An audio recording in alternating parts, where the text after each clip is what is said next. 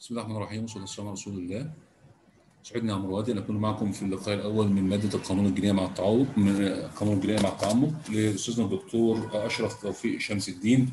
وفي عندنا زي ما إحنا عارفين المقرر السنة دي مقرر الدليل الجنائي الإلكتروني دراسة مقارنة في أحكام الأحكام الجنائية. ونعتبر إن الكتاب كله بيدور حوالين محور واحد هو مدى ثبوت الدليل الإلكتروني في الإثبات الجنائي أو مدى حجيه الدليل الإلكتروني في الإثبات الجنائي. تمام؟ وزي ما إحنا عارفين إن في عندنا لابد يبقى في ضمانات لقبول الدليل الإلكتروني في الإثبات. وبصفة عامة عندنا كده يعني في القانون الأمريكي في قاعدة بتقول قاعدة استبعاد الدليل المتحصل بطريق غير مشروع عشان نبقى إحنا فاهمين برضو إن القانون الأمريكي بيدور حوالين القاعدة دي. والقاعدة ديت لها شبيه في القانون النظم اللاتينية طبعا. فعندنا النظم اللاتينيه في القانون الفرنسي والقانون المصري على وجه الخصوص بيطبق نظرية البطلان. ولكن في النظم الانجلو ساكسونيه زي النظام الأمريكي بيطبق قاعدة استبعاد الدليل المتحصل بطريق غير مشروع. والنهاردة هنتكلم بقى عن الباب الأول وهيبدأ يكلمنا عنه الدكتور محمد عبد العزيز. اتفضل دكتور محمد.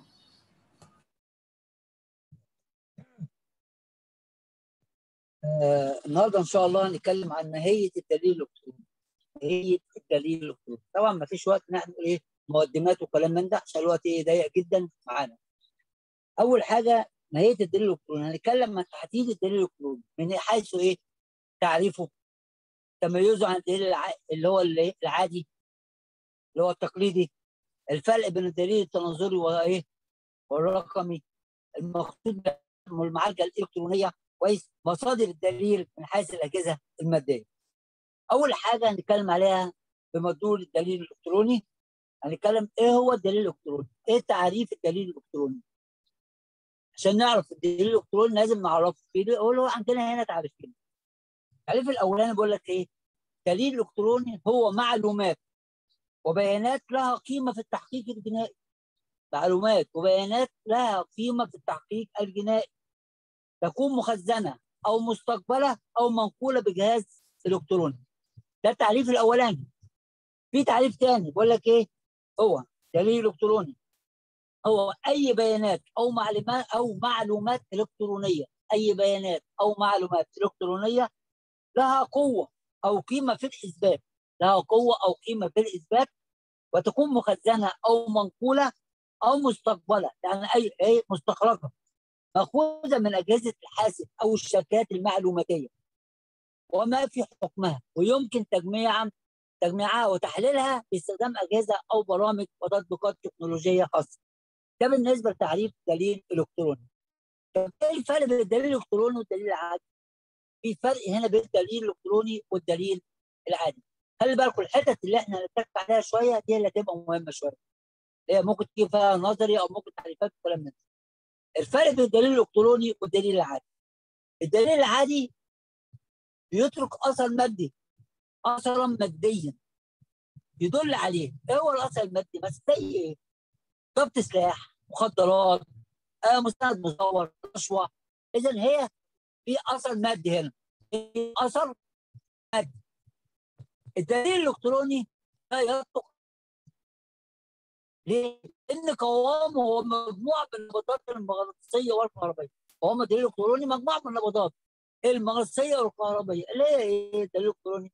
زي ما عارفين إحنا إيه الموبايل الموبايلات والحاجة والكمبيوتر والحاجات دي كلها. طب نيجي النقطه الثانية في الدليل العادي. إجراءات الضبط في الدليل العادي تتم على مرحلة واحدة. إزاي؟ بتحصل إزاي؟ بتخش بيخش اللي هو مامور الضبط القضائي مثلا يخش في مرحلة واحدة إزاي؟ يخش في الدخول للمكان المراد تفتيشه. بيقوم مامور الضبط بضبط الشيء وتفتيشه وحصول على الدليل فدي مرحلة واحدة يبقى هنا في الضبط الدليل العادي يحدث على مرحلة واحدة يحدث في مرحلة واحدة الدخول والتفتيش مرحلة واحدة الدليل الإلكتروني بيحصل على مرحلتين إزاي؟ مرحلة الاولانيه عمليه الدخول وتحفظ على جهاز الكمبيوتر ونقله خارج مكان الضبط. يخش يجيب الكمبيوتر من جوه وينقله يطلعه بره مكان الضبط. دي رقم واحد. اثنين تفتيش الجهاز. أحسن عن بيانات تكون دليلا على الجريمة. طب البيانات اللي فيهاش بيبحث عنها تكون دليل للجريمة. برضه بتيجي عن طريق نقطتين. تفتيش مادي وتفتيش إلكتروني. إيه التفتيش المادي هنا وايه التفتيش الالكتروني إحنا بنتكلم. تفتيش مادي بحث عن جهاز إلكتروني معين. مثل حاسب آلي كاميرا هاتف محمول يبحث عن هذا الحاجة ده تفتيش مادي حاجة ماديه وبيدور عليها عشان يجيبها. التفتيش الالكتروني الحصول على بيانات الجهاز المطلوب حصول على إيه؟ على بيانات من الجهاز المطلوب هنا في تميز في الاختلاف بين نوعي التفتيش. ومكان التفتيش ووقت التفتيش. في مكان في اختلافات. مكان التفتيش في وقت التفتيش. كل ده في حاجات إيه؟ اختلافات بين نوعي التفتيش. ماشي؟ يبقى إحنا قلنا هنا أول حاجة عشان لو جه سؤال في الحتة دي. الفرق بين الدليل الإلكتروني والدليل العادي. كويس؟ أول حاجة تعريف الدليل. والفرق بين ده الدليل الالكتروني والدليل العادي. نقطتين اثنين لا أكثر ولا أقل. العادي يطلق أثر مادي الالكتروني لا يطلق أثر مادي. العادي إجراءات الضبط على مرحلة واحدة الالكتروني على مرحلتين. ماشي؟ أول نقطتين نتكلم طب الدليل الالكتروني أوسع نطاقا من مدلول المستند الالكتروني الالكتروني أوسع نطاقا من مدلول المستند الالكتروني المستند الالكتروني له أهمية كبيرة جدا. يماثل المستند الورقي. المستند الالكتروني بيماثل المستند إيه؟ بيتمثل مع المستند الورقي. من حيث إيه؟ اوجه الاستعمال. له مزايا كتير جدا جدا. وله انتشار واسع وتزايد مستمر في الاستخدام. والكثير جدا من التشريعات تساوي بين المستند الورقي والمستند الإلكتروني. كثير جدا. من التشريعات بتساوي بين المستند الورقي والمستند الإلكتروني في إثبات المعاملات أمام القضاء. والمستند الإلكتروني له إيه؟ يعني لولا إنه اضيق نطاقا من تعبير الدليل الإلكتروني المستند الالكتروني له اضيق نطاقا من تعبير الدليل الإلكتروني.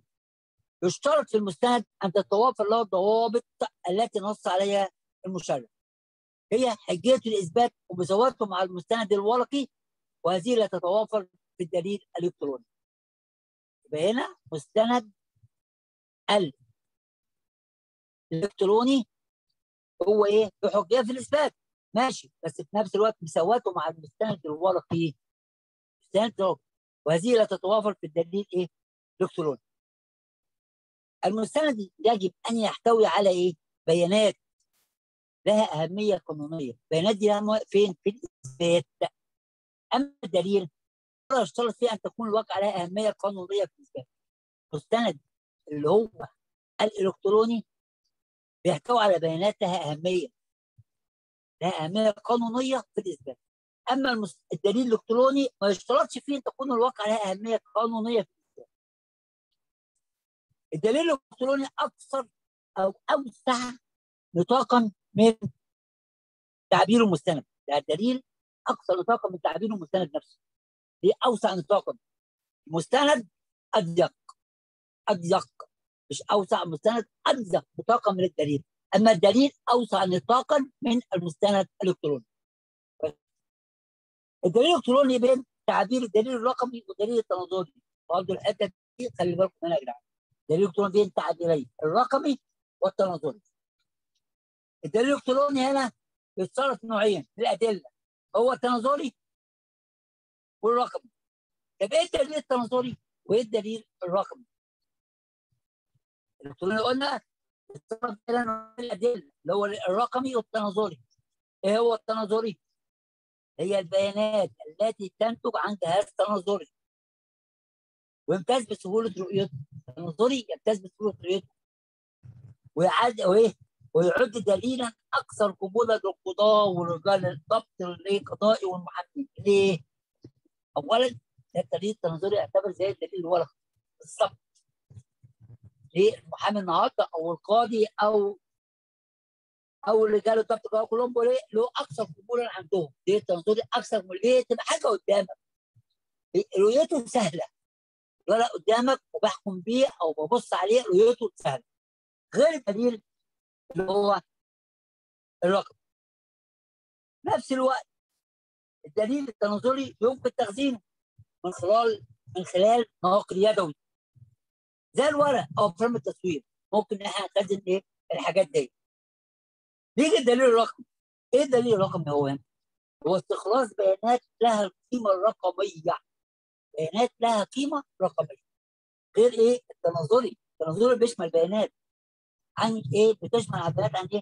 تنتج عن جهاز تناظري الرقمي استخلاص بيانات لها قيمة رقمية. يبقى هنا الأمر في الدليل الرقمي يتعلق بإيه؟ بإنشاء هذه البيانات. انشاء هذه البيانات. أو معالجتها وتخزينها. أو معالجة هذه البيانات وتخزينها. أو الاتصال بها بأي جهاز كمبيوتر. الدليل الرقمي اتصال بها بأي جهاز كمبيوتر. أو نقلها بواسطه نظام نظم الاتصالات هذه البيانات اللي هي متعلقة بالإثبات أمام القضاء. هذه البيانات تكون هذه البيانات متعلقة بالإثبات أمام القضاء. الصعوبة الحقيقية هنا في هذا النوع هو من الأدلة. انه غير قابل للفهم بيسر بين المشتغلين بتطبيق القانون. إيه؟ التناظري رؤيته سهلة وشغله سهل مع القضاء والمحامين والناس دي كلها. أما بالنسبة للدليل الرقمي بيعتبر يعني جامد. غير قابل للفهم يعني مش مش يسير زي التناظري بقى مش تنظر الدليل الرقمي يمكن أن يجعل رجال الضبط والتحقيق والاتهام يترددون ما بين إقامة الدعوة الجنائية ضد شخص أو الهجام على تقدمه للمحاكمه استنادا إلى هذا الدليل حيث يتجنبوا إيه؟ احتمالات الخطا فيه ممكن يكون إيه هو بيقدم إيه؟ الدعوه أو حاجة في الدليل التراكمي بالذات إن يبقى إيه الرقمي ممكن يبقى فيه خطأ. الدليل الرقمي يتطلب لاستخلاصه جهاز إلكتروني عشان الدليل الرقمي عشان أبدأ أستخلصه لازم يكون في جهاز إلكتروني فضلا إن التعبير الإلكتروني يشمل معناه إيه؟ التناظر والرقم الدليل الإلكتروني اللي هو قلنا بنوعين اللي هو التناظر والرقم الدليل الإلكتروني بيشمل الاثنين دول بيشمل الاثنين دول. والقواعد اللي بتطبق عليهم هي في الأغلب قواعد واحدة. لو التناظري والرقمي هي قواعد واحد. لأن الاثنين تبع مين؟ الدليل الإلكتروني. هو بيجي يقول لك ده دليل تناظري وده دليل رقم منقسم إلى نقطتين. إيه المقصود بالمعالجة الإلكترونية؟ عملية تقنية. عملية دي معالجة تقنية دي عملية تقنية. تتم كليا أو جزئيا. بكتابة أو تجميع أو تسجيل أو ضغط أو تخزين أو دمج أو غلط أو إرسال دي كلها معالجات إلكترونية. وتتم باستخدام أي وسيط من الوسائط أو الحاسبات أو الأجهزة الإلكترونية أو المغناطيسيه وتستخدم تاريخيا الكمبيوتر اللي إحنا بنستخدمه ده هنتكلم فيه لأن الكمبيوتر عامة شغله في كل حاجة هنا. ويستخدم غير الكمبيوتر للدلاله على أي شكل وحده المعالجة. أي حاجة لوحده المعالجة هنا بنستخدم في إيه؟ الكمبيوتر. وإيه تاني؟ وساعات اليد الرقميه وعدادات عدادات الكهرباء. كويس؟ إيه الخصائص المشتركة في الحاجات دي كلها؟ في حاجات مشتركة طبعا. تحتوي على وحدة لإدخال وإخراج البيانات. دي بتحتوي على وحدة تدخل البيانات وبتخرج البيانات. في وحدة للإدخال ووحده للإخراج. ماشي؟ ادخال البيانات يكون من خلال ملف داخلي. ويجب هنا انت توفر للجهاز القدرة على إخراج المعلومات. أنت بتسجل على الجهاز في نفس الوقت يبقى في قدرة إن أنت لما تيجي تشغل الجهاز بعد كده إن أنت تشوف اللي أنت سجلته أو اللي أنت دخلته في هذا الجهاز. زي الموبايل الهاتف. إنك أنت بتتكلم مع واحد أو حاجة أو بتسجل حاجة معينة بعد كده لما تيجي تدوس على الزرار بتاعك اللي هو إيه بعد التسجيل عشان تسمع التسجيل بتسمعه عادي جدا. نفس النظام في الكمبيوتر. ممكن تدخل أي حاجة عن الكمبيوتر في جهاز تدخل وفي إيه حاجة وهو وأنت بتدوس على الزرار نفسه وأنت خارج بتشوف اللي أنت دخلته إيه نظامه إيه. طيب تاثر ايداع الدليل الالكتروني إلى الدليل الإلكتروني بأثر نوعين هو أول حاجة أول نوع منه بيشمل البيانات المستخرجه من جهاز معين. إيه الجهاز اللي إيه اللي هو بيشمله دليل الكتروني قلنا كمبيوتر والأجهزة الرقمية. الأجهزة الرقمية والكمبيوتر. طيب المعلومات المنقولة الكترونيا ثاني حاجة هي المعلومات المنقولة الكترونيا. خلال الاتصال بشبكة المعلومات الرقمية. إيه مصادر الدليل الإلكتروني عندنا؟ في مصادر للدليل الإلكتروني. أول حاجة نتكلم عليها الأجهزة المادية. الأجهزة المادية. فهي دي الأجهزة التي يمكن استخلاص الدليل منها أي شريحة أي شريحة عندنا تضمن تقنية لمعالجة بيانات تكون بمقدرها أن في الأنشطة إيه؟ الإجرامية. وبالتالي يجوز أن تكون مصدرا للدليل الإلكتروني في نفس الوقت. عسى الألعاب الإلكترونية العصاية بتاعت الألعاب الإلكترونية بتاعت الموضه الحاوي اللي في الشارع دوت عصاية الألعاب الإلكترونية والحاجات دي. يمكن من خلالها تبادل رسائل مشفره بين الجنان. العصاية دي ممكن في رسائل تتبعت بين الجنان. الأجهزة المنزلية نفس النظام. زي إيه؟ ثلاجات ثلاجات ذكية مزودة بشاشات عرض. الأجهزة اللي يمكن استخلاص الدليل منها اللي هي زي إيه؟ موبايل هاتف محمول كمبيوتر مكتبة أو كاميرات الألعاب الالكترونيه أجهزة الراديو الساعات السماعات الكاميرا الحاجات دي كلها. دي كل دي أجهزة لغة استخلاص الدليل منها. استخلاص الدليل منها. طيب بالنسبة لاجهزه الكمبيوتر أو اجهزه رقميه نيجي هنا المحكمة العليا الأمريكية. قالت لك إيه؟ يتم تفتيش الهاتف المحمول بناء على مذكرة تفتيش. طب هنا في قاعدة.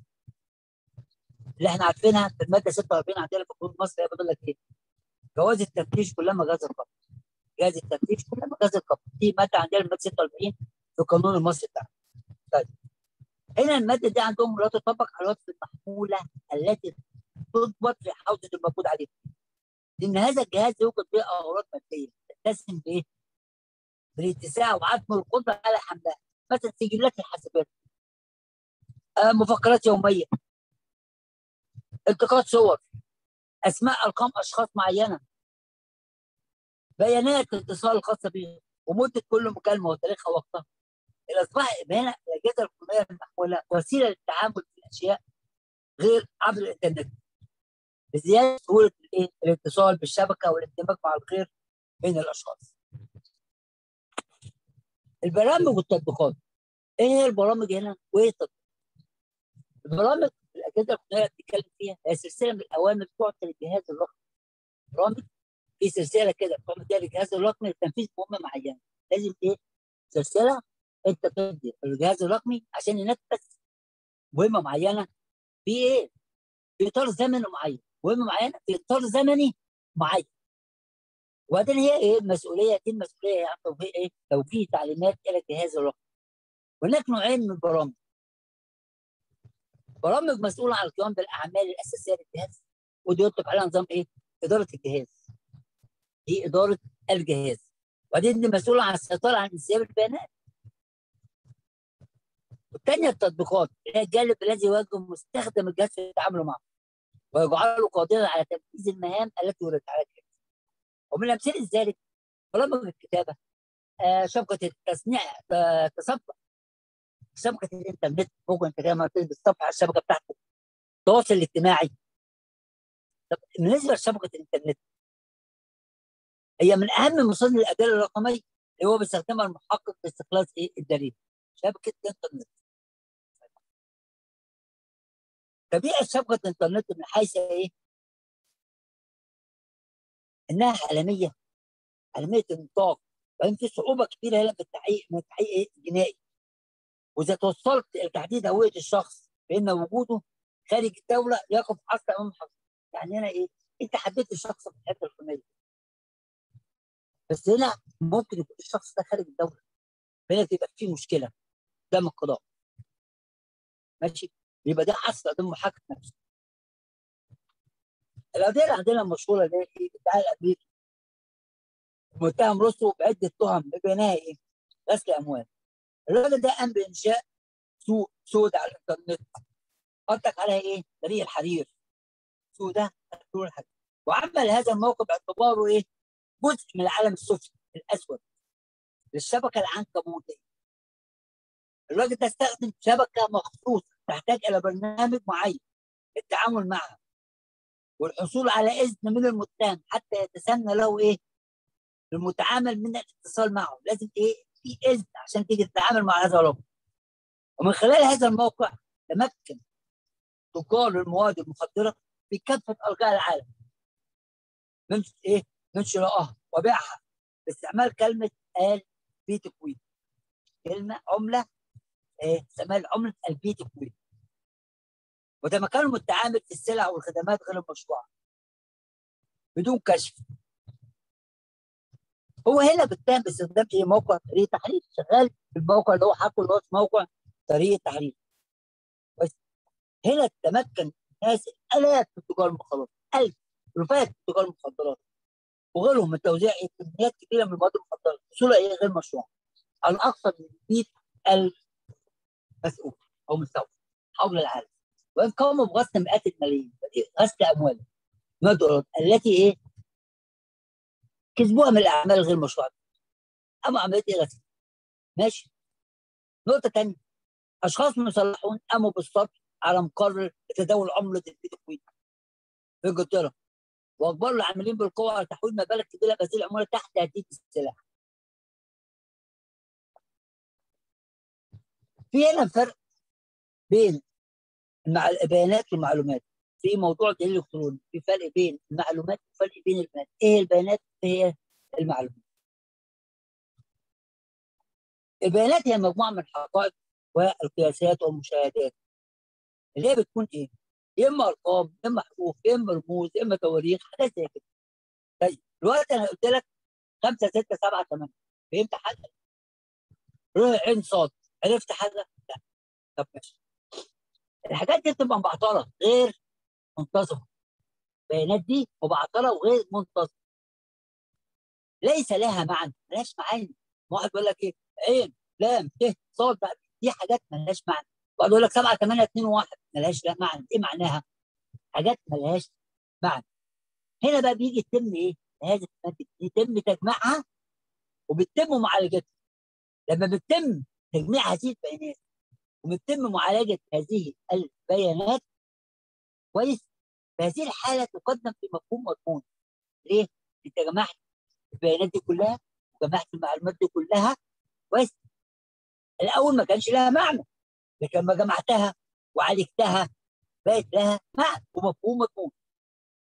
وبتصبح في هذه الحالة بقت إيه؟ معلومات. كانت شوية بيانات. بيانات إيه؟ أرقام. آه، كلام عادي. أي حاجة موجودة رموز تواريخ كل دي بيانات بس ملهاش معنى. لما جينا بقى ناخدها كلها ونجمعها ونعالجها بقت لها معنى. معناها بقت إيه دلوقتي